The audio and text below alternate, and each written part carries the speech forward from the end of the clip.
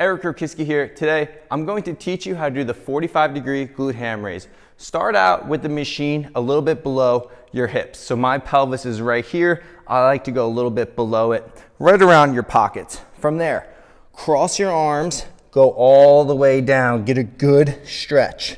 Exhale.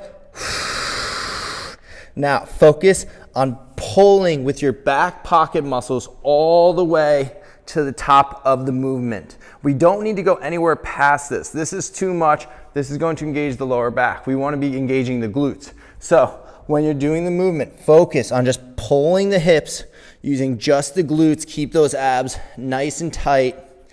Getting all the way to the top of the movement, pausing for a count, and then lowering back down.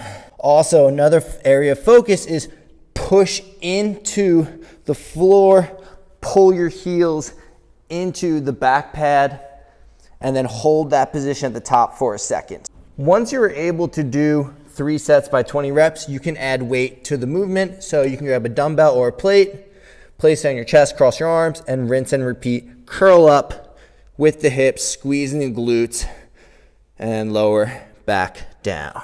From the front perspective, I like to have my feet at hip distance apart or slightly wider with my toes turned out just a wee bit. So look like this.